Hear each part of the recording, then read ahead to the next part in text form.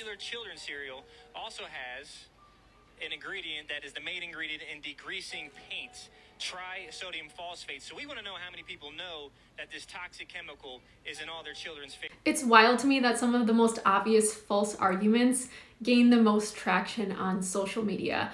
I've seen this one about TSP uh, dating back, I think it was in Snopes in like 2014. So this one has been going around for almost 10 years, if not longer. Just because an ingredient can be used in a cleaner does not imply that it is unsafe in food. And that is quite literally the entire argument here. That because trisodium phosphate is used to clean things, that it is a toxic chemical in food, which should very obviously be a false argument. Can you imagine if somebody went around the grocery store trying to scare people about salad dressing because there's acetic acid, aka vinegar, in it, and vinegar can be used as an industrial cleaner? Obviously, that would be ridiculous, but that's exactly what is going on here. So, of course, dose matters for everything. Vinegar can be used for cleaning. It's a very concentrated solution of vinegar. Obviously, you would not want to consume this, but that doesn't mean that vinegar cannot be used safely in food. We can even zoom in on the warning on this industrial vinegar cleaner. Poison, keep out of reach of children.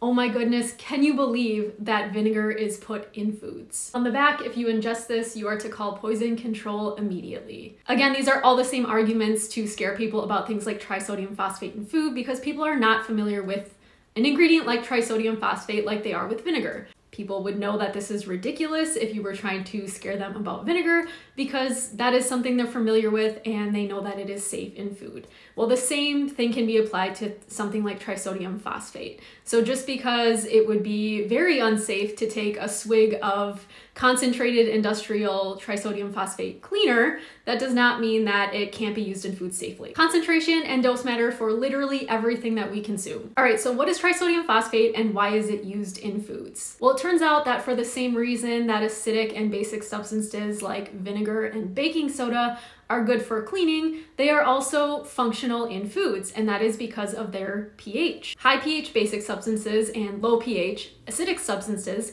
can be used to regulate pH in food products. So trisodium phosphate is a basic substance and can be used much like baking soda in bakery products. So it can be used as a leavening agent, so it reacts to create carbon dioxide bubbles, which causes leavening and increases volume of bakery products. For this reason, it can be used in things like cakes, cookies, muffins, and pancakes. It can also be used to control batter pH and is typically used in the dry mix at around 0.1% to 0.5%. It can also be used as a buffering agent to help resist changes in pH. pH is a very important characteristic and an important thing to control for in food items because it affects everything from shelf life to flavor to appearance of a food item. So this is from EFSA's working group on phosphates, but the panel reassessed the safety of phosphates and derived for the first time an acceptable daily intake of 40 milligrams per kilogram of body weight per day. So trisodium phosphate is a source of sodium and phosphate. So when it's being added to food,